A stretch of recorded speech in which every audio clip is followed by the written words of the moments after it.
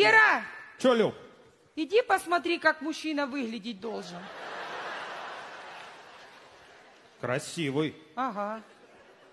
Так у него и баба, вон, смотри, какая.